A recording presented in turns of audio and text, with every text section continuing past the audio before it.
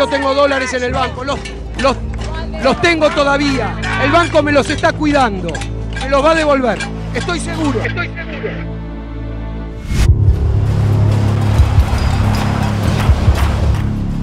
El 2001 fue un quiebre para toda la sociedad argentina.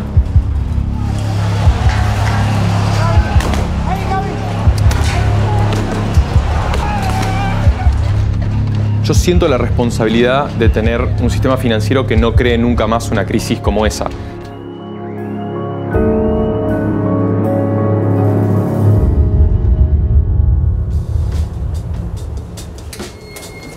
Bienvenido. ¿Y Mano, cómo dice que le va? ¿Cómo va? ¿Bien? Bienvenido. ¿Todo bien? ¿Todo bien? ¿Cuánto tiempo estás acá en Ciudadano Global? Y, pero más de la mitad de mi tiempo estoy en Buenos Aires. La mayoría del equipo, el 80% del equipo, está acá, así que yo tengo que estar donde está el equipo. ¿Y después qué vas? ¿Inversores, México? Mucho México últimamente, porque venimos creciendo muchísimo en México, ahora es nuestro segundo mercado más grande. También Colombia, y por supuesto inversores, Nueva York, Hong Kong estuve, estuve en Tokio y un poco de todos lados. Bueno, vamos a conocer. Sí, bienvenido. Y acá estamos entrando en parte al origen, Sí, el origen, nuestra primera oficina.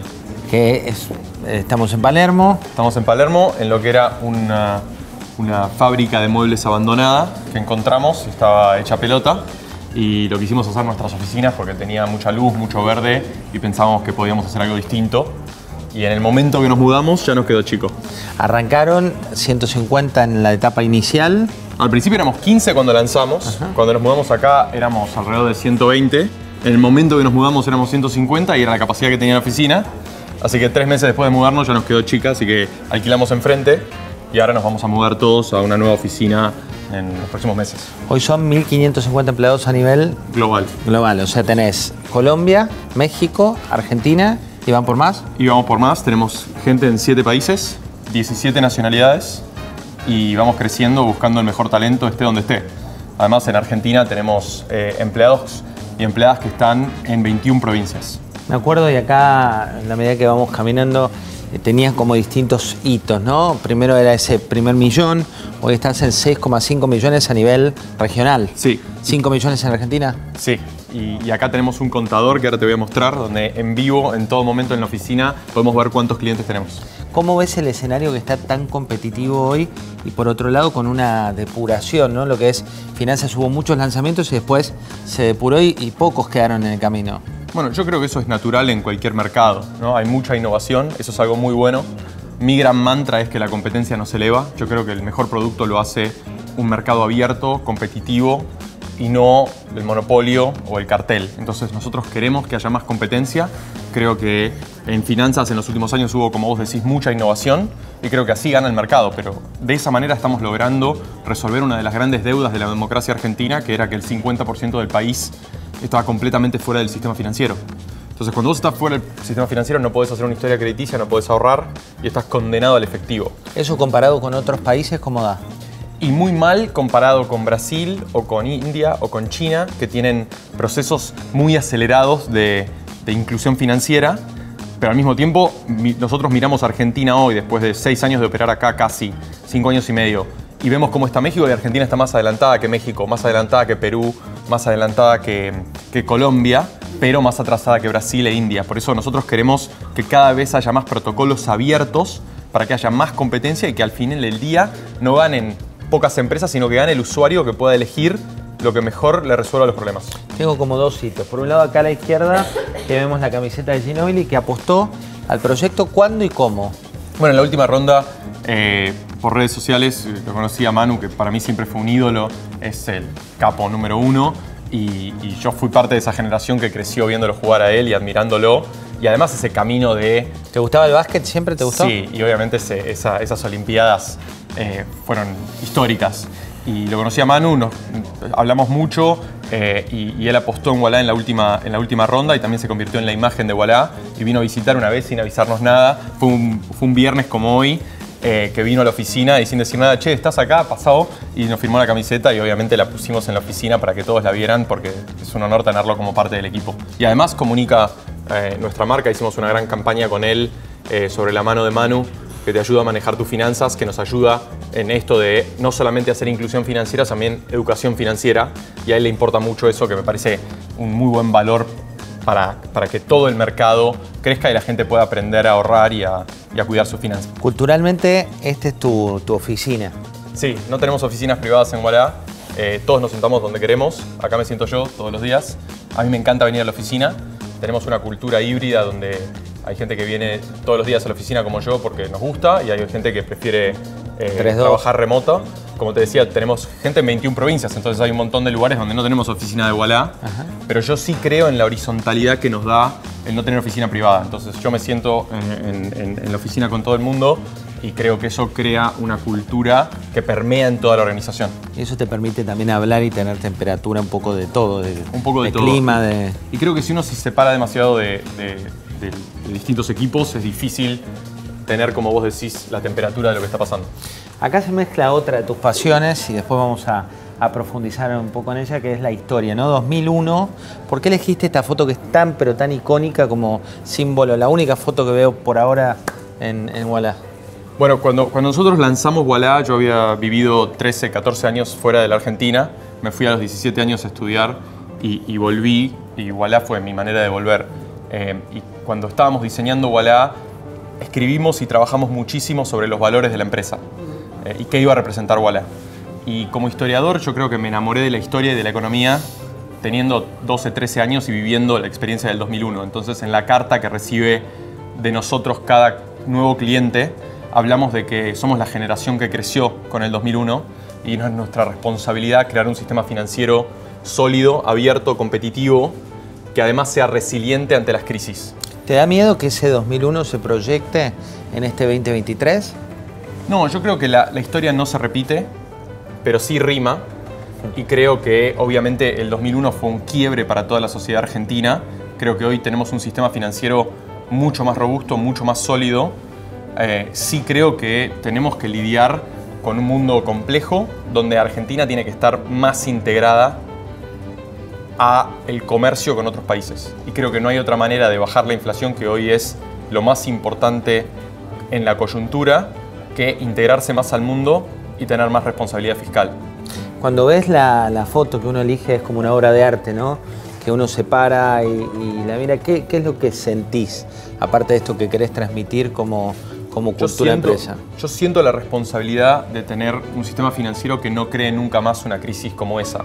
Porque lo que nació en el sistema financiero, y en ese caso tiene muchos ecos al 2008 en Estados Unidos o al 2010 en Europa, lo que nació en el sistema financiero en Argentina en 2001 terminó con una crisis política, social y, y muy profundamente cultural que tuvo ramificaciones por 10 años después.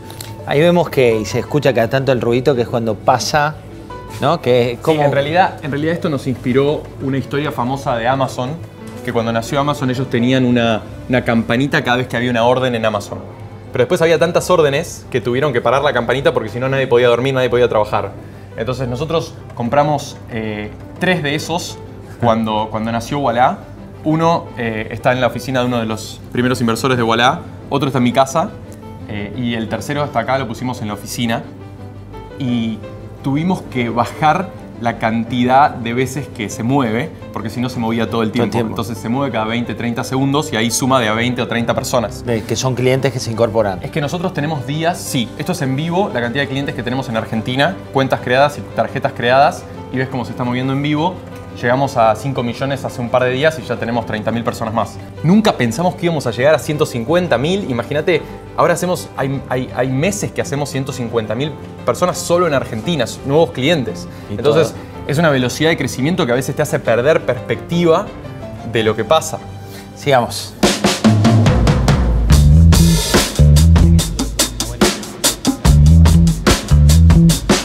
Bueno, espera, y hay algo interesante que decías, estábamos viendo ahí el, contador. Hay dos, pero hay uno que tiene George Soros.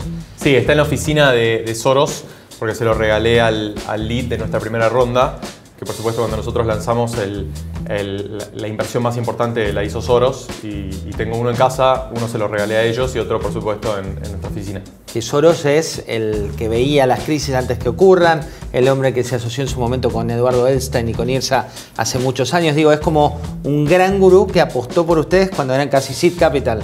Sí, totalmente, éramos, no existía nada, había un PowerPoint eh, con la idea de hacer Wallah eh, y, se lo llevamos a ellos y fue la primera inversión que hizo Soros en la economía real argentina en casi 20 años. Así que es un gran honor tenerlo como inversor y que, que haya apostado por nosotros tan temprano, porque en ese momento éramos literalmente cinco personas eh, con solamente un plan y un sueño y nada más.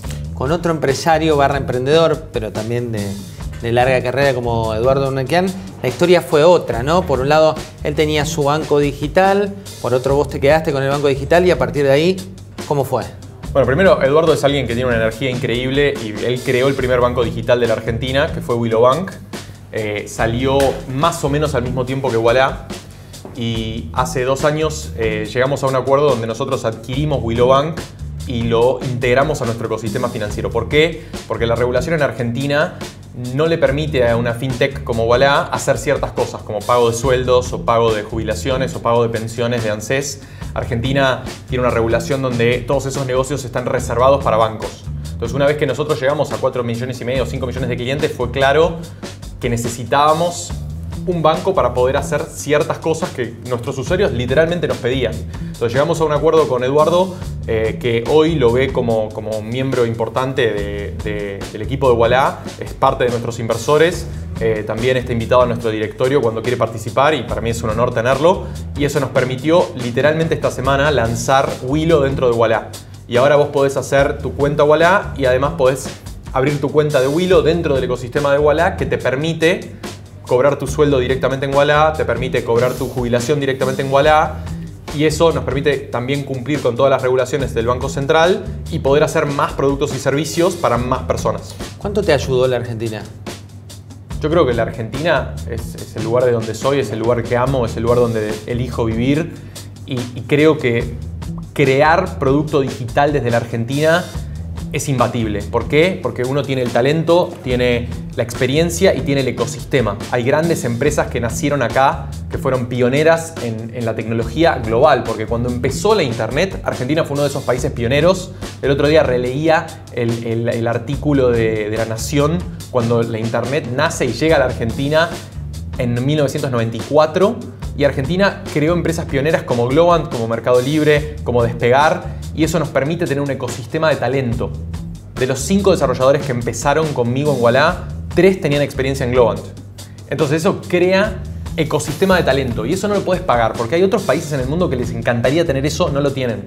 Y nosotros, al haber sido pioneros, lo tenemos. Y hay que protegerlo y hay que fomentarlo y también hay que tener el capital disponible para que el día de mañana gente que se vaya de Walla pueda hacer sus propias empresas, como varios lo están haciendo, y otros puedan volver. Entonces es un, es un mercado muy dinámico donde tener más capital y tener un, pool de talento grande beneficia a toda la sociedad, trae externalidades positivas, como dicen los economistas. Te voy a dar un sueño de, muchos emprendedores, que es el capital de la Argentina. Te voy a dar un 100% de, de acciones y vos tenés que invertir esas acciones en algo que construya el mejor futuro de nuestro país puede ser un 20%, te doy ejemplos en educación, un 30% en, no sé, turismo, lo que vos quieras. ¿Dónde invertís? Primero, antes de darte los números, te voy a dar mi visión del país. Yo creo que Argentina tiene la oportunidad de integrarse mucho más a los mercados internacionales. Somos un país que históricamente fue muy cerrado. Creo que hoy tenemos una oportunidad histórica de abrirnos. ¿Por qué? Porque tenemos superávit de energía por primera vez en 20 años.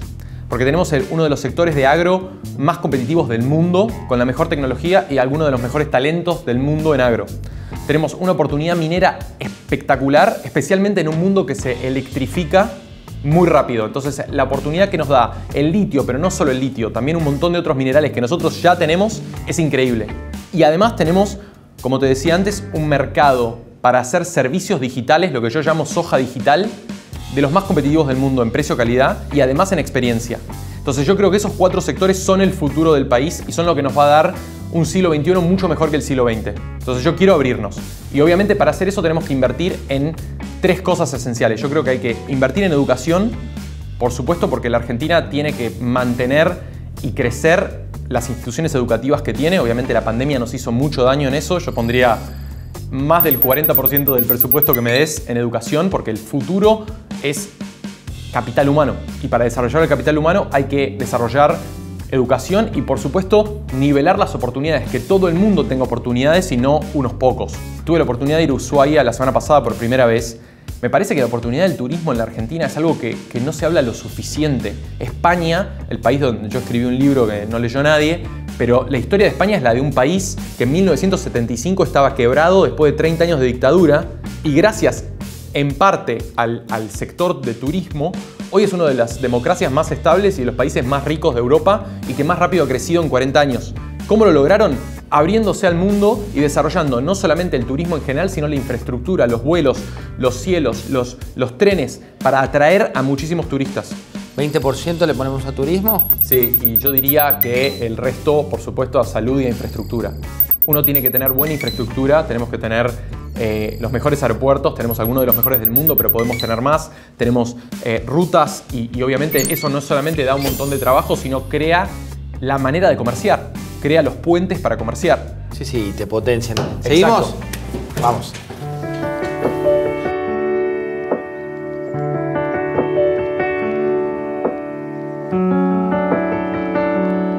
Ahora nos vamos a meter un poco en tu historia, ¿no? que, que tiene que ver con imágenes, que tiene que ver con, con, fotos. Voy a arrancar con esta, te la muestro primero a vos. Se la muestro acá. Esta foto, ¿de cuándo y qué significa? Y esa foto es, eh, fue mi tiempo en el Reino Unido. Yo después de terminar la universidad me fui a hacer un máster en, en, cerca de Londres, en Cambridge, y viajé un poco por, por eh, el Reino Unido y ese es el pueblo donde era Shakespeare. Y siempre había querido conocerlo y, y fui ahí. Y ese fue el tiempo donde escribí eh, mi libro de historia, que, eh, que, fue publicado también en Argentina, pero, pero principalmente en, en, España, porque es un libro sobre la, la historia de España y la Guerra Civil Española y también en, en, en, el Reino Unido y en Estados Unidos.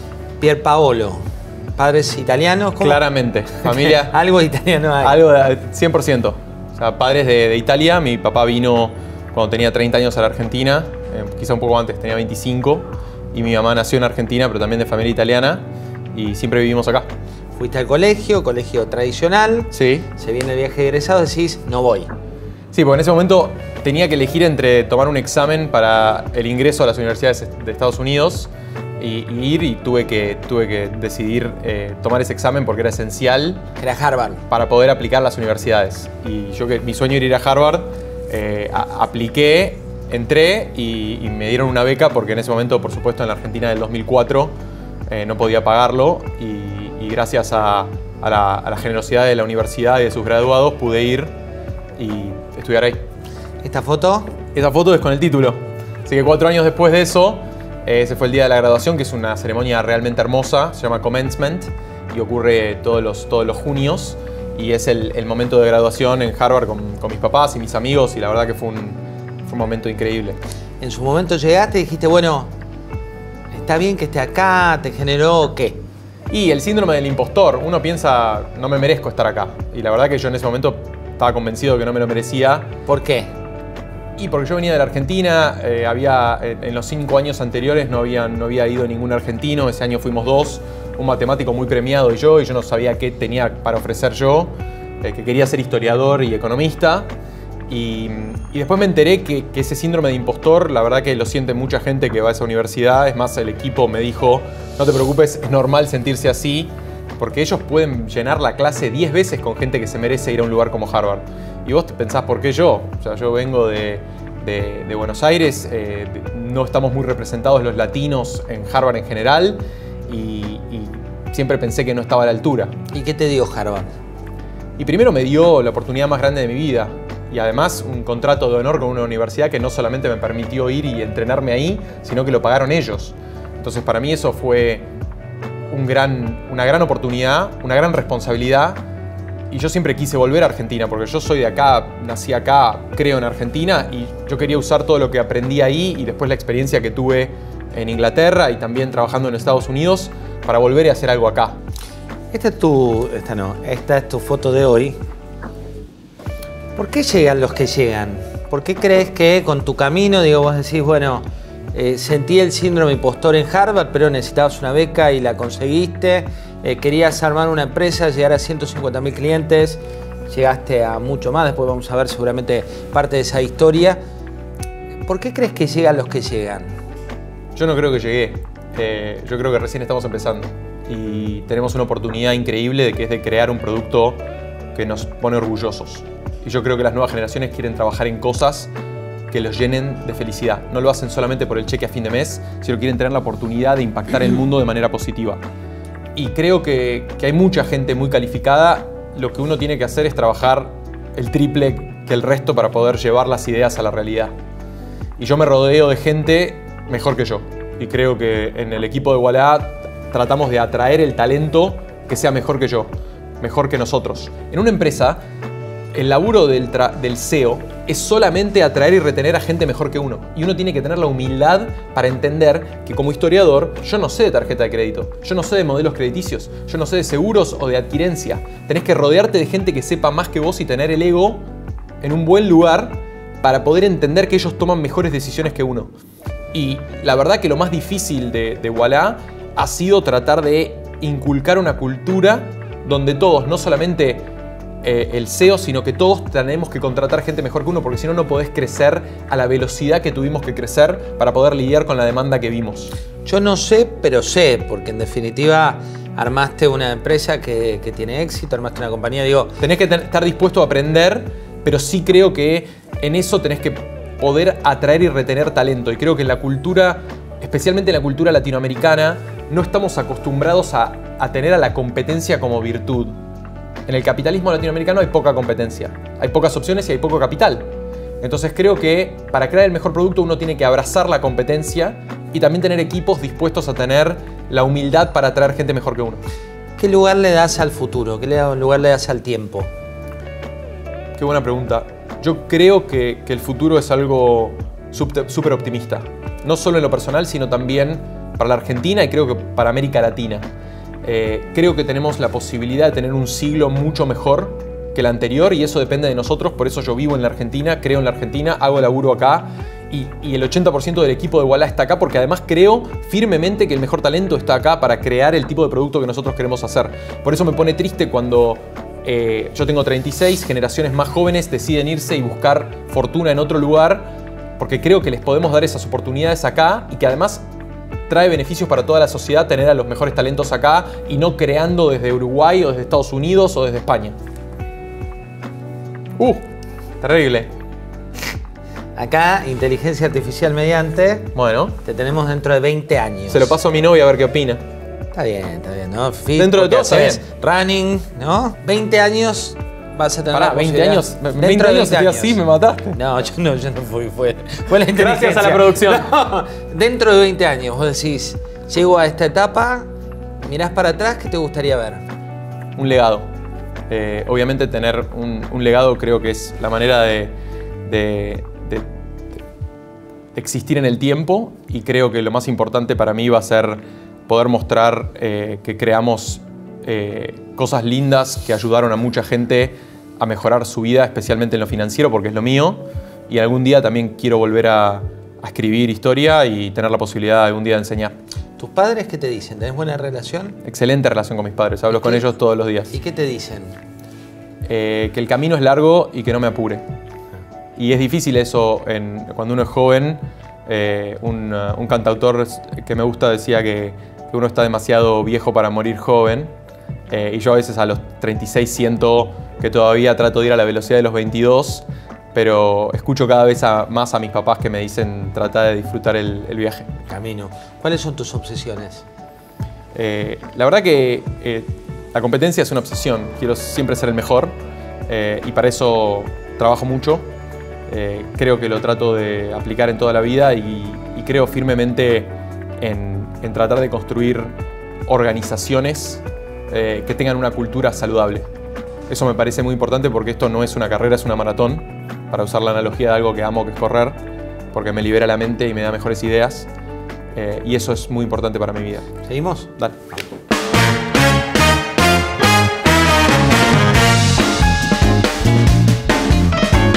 Bien, la última es una, la pregunta igual, ¿no? Vos sos líder y hay que generar condiciones para generar un camino más igualitario en todo sentido.